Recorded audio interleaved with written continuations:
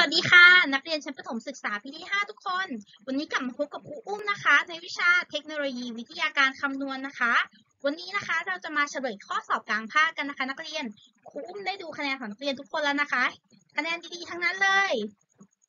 เรามาดูเฉลยกันดีกว่าค่ะเรามาดูกันเลย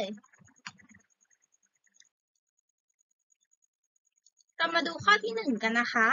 ขั้นตอนการแก้ปัญหาที่ถูกต้องควรเริ่มจากข้อใด 1. ทำตามแผนที่วางไว้และประเมินผล 2. ฝึกการใช้ทักษะให้เชี่ยวชาญยิ่งขึ้น 3. ทำความเข้าใจปัญหา และ 4. วางแผนแก้ปัญหานะคะ ข้อนี้นะคะเราจะทำการตอบในข้อ3นะคะทำความเข้าใจปัญหา เนื่องจาก การที่เราจะแก้ปัญหาเนี่ย เราจะต้องพิจารณาก่อนใช่ไหมคะว่า ปัญหานี้เกิดขึ้นจากอะไร มีวิธีการแก้ปัญหาอย่างไรนะคะ เพราะฉะนั้นเราจะต้องทำความเข้าใจปัญหาก่อนนั่นเองค่ะ 2. การแก้ปัญหาอย่างเป็นระบบควรเริ่มต้นจากข้อใด 1. แยกย่อยปัญหา 2. แยกย่อยสาระสำคัญของปัญหา 3. หารูปแบบของปัญหา และ 4. เขียนลำดับขั้นตอนวิธีนะคะ ข้อนี้นะคะจะตอบข้อแรกนะคะ แยกย่อยปัญหานะ เพราะว่าการแก้ปัญหาปัญหาอย่างเป็นระบบเนี่ย เราจะต้อง แยกย่อยปัญหาออกมาก่อนนะคะ ว่าปัญหานี้มีอะไรบ้างนะคะ แล้วก็จะต้องดำเนินการอย่างไรนะคะ เพราะฉะนั้นข้อนี้ตอบ อันแรกเลย แยกย่อยปัญหาค่ะ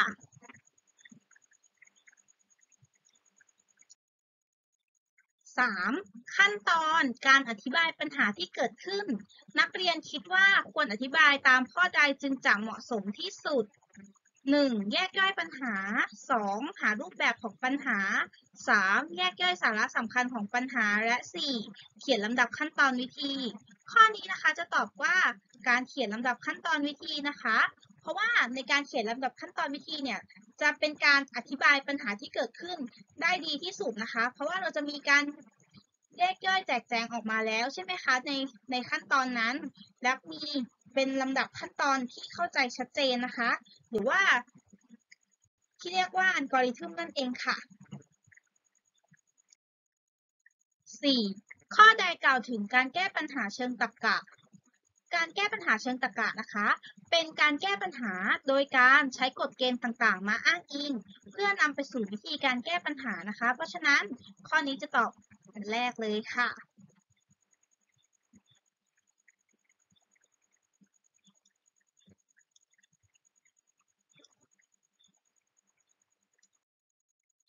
ข้อ 5 การแสดงลำดับขั้นตอนการแก้ปัญหามีชื่อเรียกอีกชื่อว่าอะไร 1. อันกอร์ 2. อังกอร์ 3. อัลกอริทึม 4. อัลกอริล่านักเรียนตอบข้อใดคะอ่าจะต้องเป็นอัลกอริทึมอยู่แล้วใช่ไหมคะคงไม่ใช่อัลกอริล่าหรอกเนาะ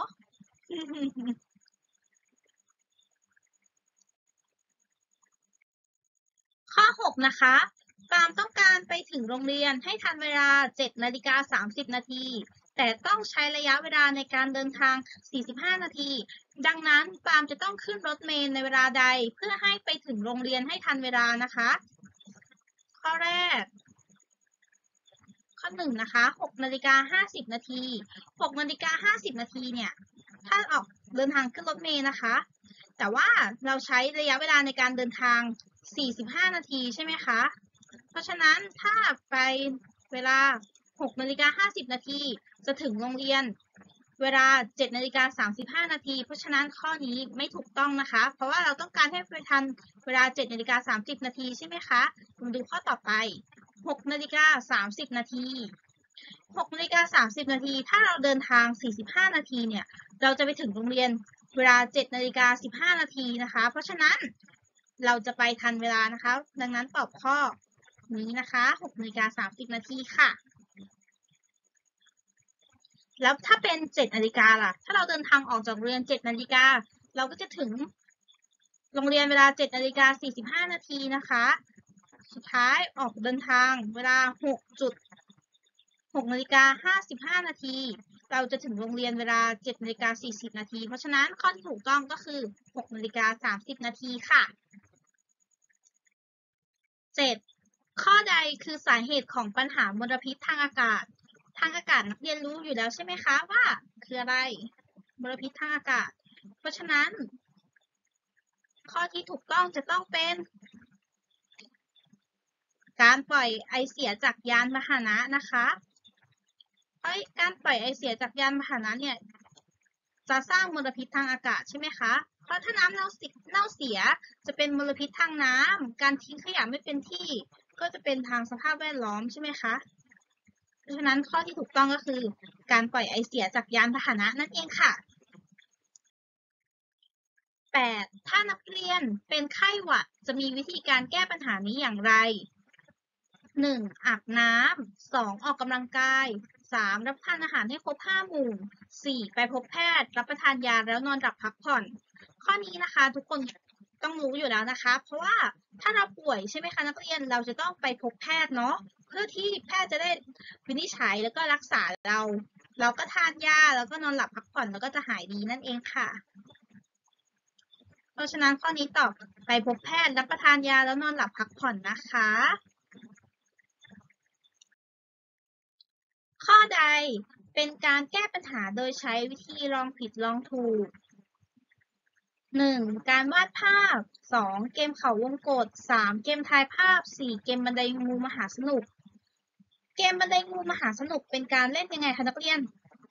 คอยลูกเต๋าแล้วเดินตามลูกเต๋าใช่ไหมคะ เกมทายภาพ เราก็จะต้องทายภาพให้ถูกต้องเนาะ เพราะฉะนั้น การวาดภาพเนี่ยก็ไม่เกี่ยวข้องกับการแก้ปัญหา โดยการลองผิดลองถูก เพราะฉะนั้นข้อถูกต้องก็จะคือ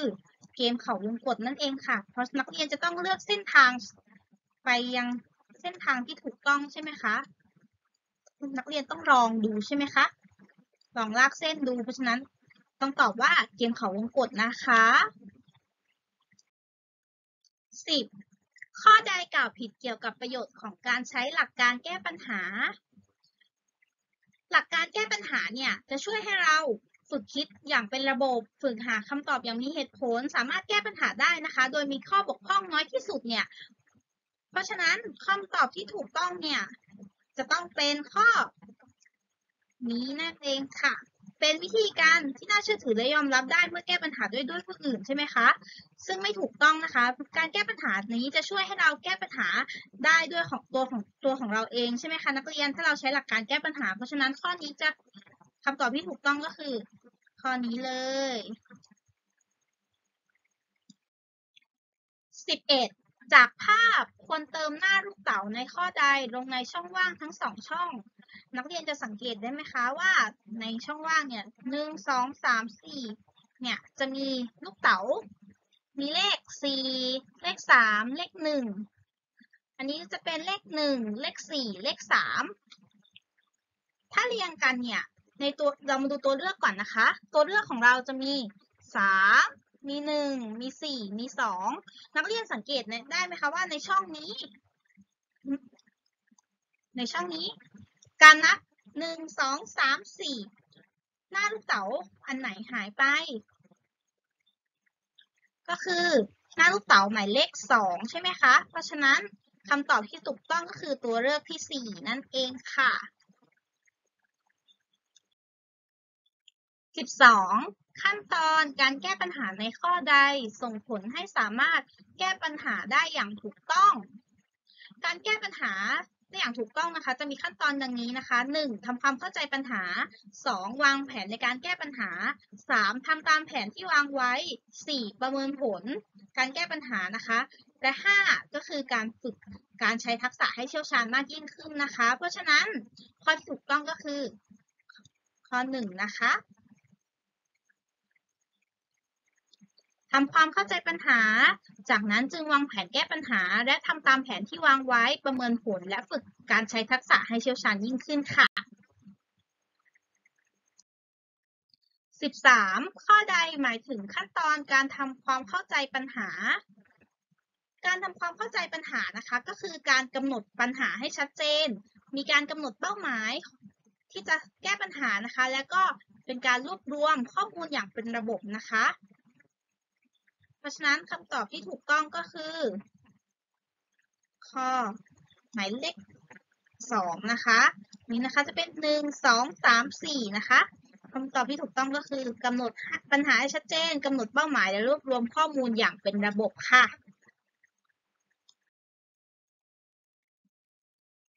สิบสี่ข้อใดไม่ใช่กฎเกณฑ์หรือเงื่อนไขในการแก้ปัญหา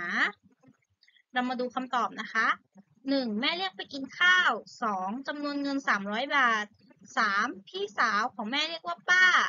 สี่น้ำพริกหนุ่มเป็นอาหารประจำภาคเหนือ ข้อใดไม่ใช่แบบว่ากฎเกณฑ์คะนักเรียน ข้อแรกนะคะ แม่เรียกไปกินข้าว แม่เรียกไปกินข้าวเนี่ยจะไม่ใช่กฎเกณฑ์หรือว่าเงื่อนไขในการแก้ปัญหาต่างๆนะคะ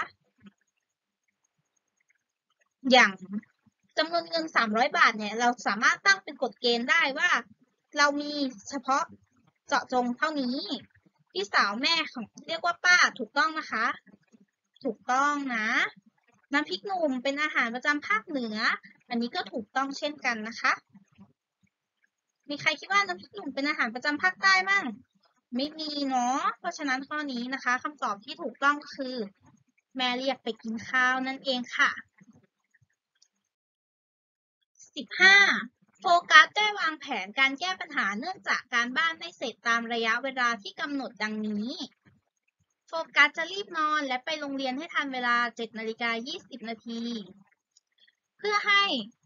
ทำการบ้านต่อหรือทำต่อในเวลา 12นาฬิกา หรือยอมให้ครูประจำรายวิชาทำโทษ เนื่องจากทำการบ้านไม่เสร็จ จากเหตุการณ์ดังกล่าวอยากทราบว่าโฟกัสมีแนวทางในการแก้ไขกี่ข้อ เรามาดูแนวทางในการแก้ไขนะคะที่โฟกัสได้วางแผนนะการแก้ปัญหาไว้อันดับแรกโฟกัสจะรีบนอน และไปโรงเรียนให้ทันเวลา7นาฬิกา30นาทีเพื่อทำการบ้านต่อ อันดับที่ 2 โฟกัสทำการบ้านต่อในเวลา 12นาฬิกา อันดับที่3โฟกัสยอมให้ครูประจำรายวิชาทำโทษ เนื่องจากทำการบ้านไม่เสร็จ จากดังกล่าวนี้ แผนแผนการแก้ปัญหาของโฟกัสดังดังนี้นะคะ จะมีกี่เงื่อนไขหนึ่งก็คือโฟกัสจะรีบนอนและไปโรงเรียนให้ทันเวลา7นาฬิกา20 นาทีใช่ไหมคะ อันนี้เป็นเงื่อนไขที่หนึ่ง เงื่อนไขที่สองก็คือโฟกัสจะทำการบ้านต่อในเวลา 12นาฬิกานี้จะเป็นเงื่อนไขที่สองและสามนะคะ ยอมให้ครูประจำรายวิชาทำโทษ เนื่องจากทำการบ้านไม่เสร็จ เพราะฉะนั้นข้อนี้จะมีกี่เงื่อนไขคะนักเรียนอ่ามีสามเงื่อนไขนะคะ เพราะฉะนั้นตอบสามเงื่อนไขนะ ข้อใดคือประโยชน์ของการแก้ปัญหาอย่างเป็นระบบ 1. ทำให้นักเรียนรู้จักการวางแผน 2. ทำให้นักเรียนรู้จักการแก้ปัญหา 3. ทำให้นักเรียนมีเหตุผลมากขึ้น และ 4. ทำให้นักเรียนรู้จักสร้างและนำต้นแบบไปใช้ การแก้ไขปัญหาอย่างเป็นระบบเราจะต้องมีการทำไงคะ มีการวางแผนนะคะ ในการแก้ปัญหาเนาะ เพราะฉะนั้นข้อนี้นะคะ ตอบนี้เลยทำให้นักเรียนรู้จักการวางแผนนั่นเองค่ะ 17 นะคะ จากเส้นทางดังต่อไปนี้ ตรงกับภาพการเดินทางในข้อใด เพื่อให้สามารถเดินทางจากบ้านไปยังสวนดอกไม้ โดยไม่ชนภูเขานะคะ จากลูกศรนนี้นะ เป็นขวาขวาขึ้น ขวาขวาลง เรามาดูภาพกันนะคะาพที่คาดว่าจะตรงตามเงื่อนไขนี้นะคะ จะเป็นตัวเลือกที่ 4 นั่นเองค่ะนักเรียนดูนะ เป็นขวา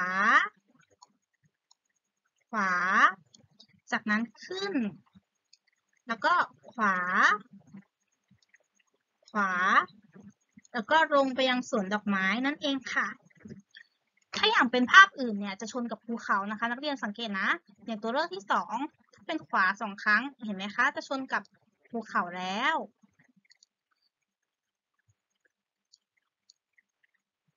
ตัวเลือกที่หนึ่งก็ไม่ใช่นะ ตัวเลือกที่หนึ่งก็ไม่ใช่นะคะ เพราะว่าเราจะต้องไปทางขวาใช่ไหมคะ อันนี้บ้านอยู่ทางขวาและส่วนดอกไม้อยู่ทางซ้ายนะคะ ไม่ถูกต้องนะ แล้วตัวเลือกที่สามจะเป็นขวา ขวา ขึ้นใช่ไหมคะ เห็นไหมคะ มันจะไม่ถูกต้องเพราะฉะนั้นคำตอบที่ถูกต้องก็คือ ตัวเลือกที่สี่นั่นเองค่ะสิบแปดพลอยใสต้องการเดินจากตึกเรียนไปยังโรงอาหาร โดยมีเส้นทางต่างๆ ดังต่อไปนี้พลอยใสควรเลือกเดิน เส้นทางใดในการเดินทาง เพื่อให้ได้ระยะทางที่ใกล้ที่สุด เส้นทางที่ 1 มีระยะทาง 500 เมตร เส้นทางที่ 2 มีระยะทาง 300 เมตร เส้นทางที่ 3 มีระยะทาง 315 เมตร เส้นทางที่ 4 มีระยะทาง 325 เมตร เส้นทางไหนสั้นที่สุดคะนักเรียน ค่ะ เส้นทางที่ 2 ใช่ไหมคะ เพราะว่ามีระยะทาง 300 เมตร เพราะฉะนั้นคำตอบที่ถูกต้องก็คือ เส้นทางที่ 2 นั่นเองค่ะ 19ข้อใดกล่าวถึงอัลกอริทึมได้ถูกต้องที่สุด อัลกอริทึมนะคะ คืออะไร มีใครทราบไหมเอ่ย อัลกอริทึมก็คือการแสดงลำดับขั้นตอนการแก้ปัญหาใช่ไหมคะ เพราะฉะนั้นข้อที่ถูกต้องที่สุดก็คือข้อนี้เลย เป็นการแสดงลำดับขั้นตอนในการแก้ปัญหานะคะ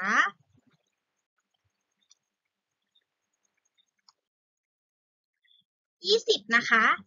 ไอซ์ต้องการรับชมการ์ตูนในวันหยุด โดยมีเวลาสำหรับชมการ์ตูน 2 ชั่วโมง 45 นาที ดังนั้นไอซ์จะสามารถรับชมภาพยนตร์เรื่องใดบ้าง จากตารางรายชื่อการ์ตูนที่กำหนดให้นะคะ ไอซ์นะคะจะใช้เวลา 2 ชั่วโมง 45 นาทีเป๊ะๆนะคะ เพราะฉะนั้นเรามาดูรายชื่อการ์ตูนกันดีกว่าค่ะ โปเกมอน 80 นาที Angry Bird 45 นาที Toy Story 50 นาที Smurf 60 นาทีโดราเอมอน55 นาทีนะคะ เรามาดูตัวเลือกที่ 1 นะคะ มีโดราเอมอนโดราเอมอน 55 นาที Angry Bird 45 นาที Toy Story 50 นาที ใช้เวลาไปเพียง 2 ชั่วโมง 30 นาทีนะคะ ก็จะยังไม่ถูกต้องนะคะเรามาดูตัวเลือกที่ 2 มี Toy Story 50 นาที Doraemon 55 นาทีโปเกมอน80 นาที อันนี้นะคะจะใช้เวลา 3 ชั่วโมง 5 นาทีนะคะ จะเกินเวลาใช่ไหมคะ เพราะฉะนั้นก็ไม่ถูกต้องนั่นเองค่ะ เรามาดูตัวเลือกที่ 3 นะคะโปเกมอน80 นาที Smurf 60 นาทีโดราเอมอน55 นาที ใช้เวลาทั้งหมด 3 ชั่วโมง 15 นาทีนะคะ อันนี้ก็จะเลยเวลาที่กำหนดเหมือนกันนะคะ ก็ไม่ถูกต้องนะ เรามาดูตัวเลือกสุดท้าย Toy Story 50 นาที Smurf 60 นาที Doraemon 55 นาที ใช้เวลาทั้งหมด 2 ชั่วโมง 45 นาทีนะคะ เพราะฉะนั้นคำตอบที่ถูกต้องก็คือข้อนี้เลยค่ะ เลือก Toy Story Smurf และ Doraemon นั่นเองค่ะ 21 ข้อใดเป็นการป้องกันปัญหาการสอบตกได้ดีที่สุด 1. ไม่ควรขาดเรียนบ่อย 2. ตั้งใจฟังเมื่อครูอธิบายบทเรียน 3. จัดตารางเรียนและจดบันทึกการเรียนอย่างสม่ำเสมอ 4. ทบทวนความรู้โดยการอ่านหนังสืออย่างสม่ำเสมอ ข้อนี้นะคะ ตอบทบทวนความรู้โดยการ อ่านหนังสืออย่างสม่ำเสมอนะคะ นักเรียนเพราะว่าถ้านักเรียนอ่านหนังสืออย่างสม่ำเสมอเนี่ยนักเรียนก็จะไม่สอบตกนะคะเพราะนักเรียนมีความรู้ใช่ไหมคะค่ะ22ข้อใด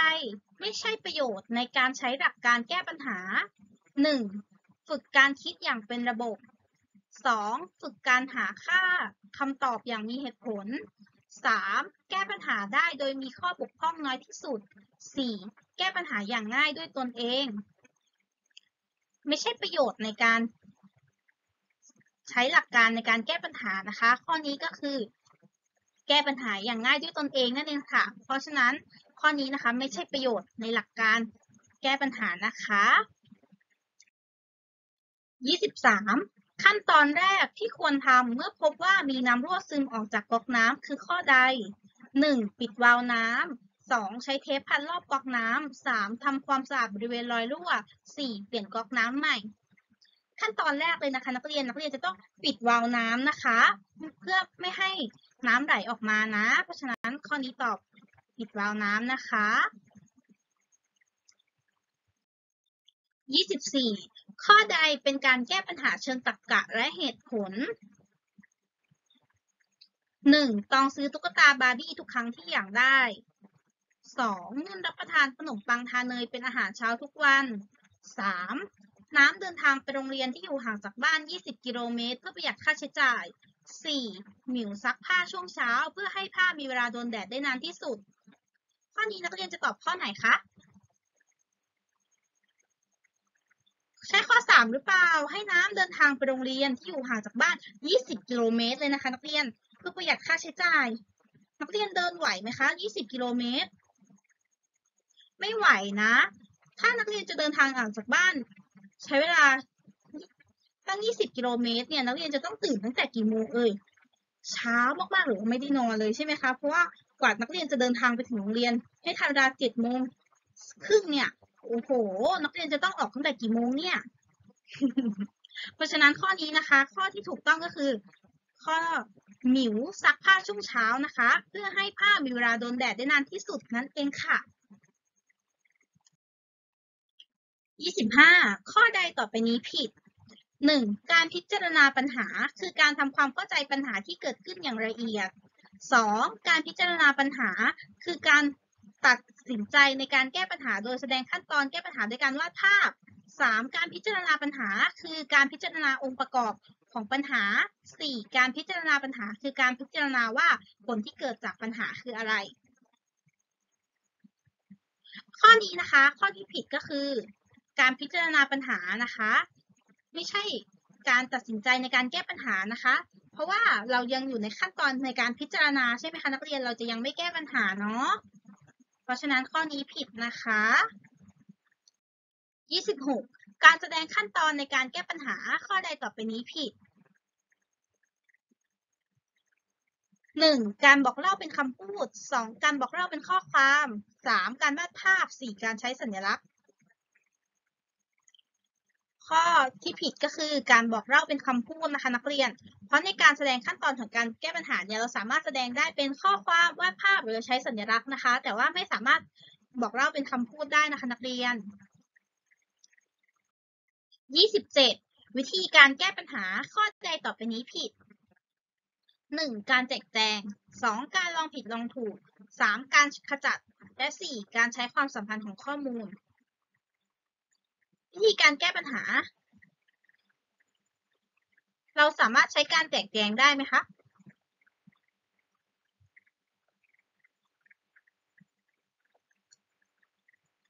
ไม่ได้นะ การแจกแจงเนี่ยเป็นการอยู่ในขั้นตอนการพิจารณาปัญหาใช่ไหมคะนักเรียน เพราะฉะนั้นข้อนี้ผิดนะคะ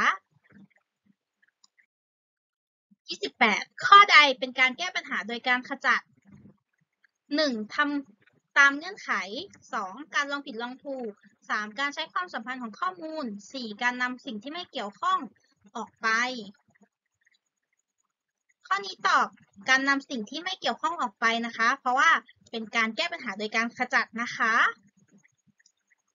ข้อ 29 เกมซูดกุแบบใดเล่นได้ง่ายที่สุด เกมซูด o กุจะมีหลายแบบใช่ไหมคะนักเรียนมี4คูณ4 6คูณ6 9คูณ9 25คูณ25 อันนี้จะเป็นช่องตารางของเกมใช่ไหมคะนักเรียนแบบที่ง่ายที่สุดก็จะต้องเป็นแบบ4คูณ4นั่นเองค่ะ ข้อสุดท้ายนะคะ ข้อที่ 30 ข้อใดต่อไปนี้ไม่ใช่ข้อดีของเกมซูโดกุ 1. ช่วยฝึกการแก้ปัญหาเกี่ยวกับด้านตัวเลข 2. ช่วยฝึกการคิดอย่างเป็นระบบ 3. ช่วยฝึกสมาธิ และ 4. ช่วยฝึกการขจัด ข้อนี้นักเรียนตอบข้อใดคะ ช่วยฝึกการขจัดใช่ไหมคะ ที่ไม่ใช่ข้อดีของเกมซูโดกุ เพราะว่าในเกมซูโดกุเราไม่ได้ใช้การขจัดในการแก้ปัญหาของเกมใช่ไหมคะ เพราะฉะนั้นคำตอบก็คือช่วยฝึกการขจัดนะคะ ข้อนี้ผิดนะ ไม่ใช่ข้อดีของเกมซูโดกุ เป็นยังไงบ้างคะนักเรียนทุกคน นักเรียน ทราบเฉลยข้อสอบแล้วเนาะจากคะแนนที่ผ่านมานะคะ มีนักเรียนหลายคนเลยที่ทำได้เต็มหรือว่าเกือบเต็มนะคะ หรือว่าจะมีนักเรียน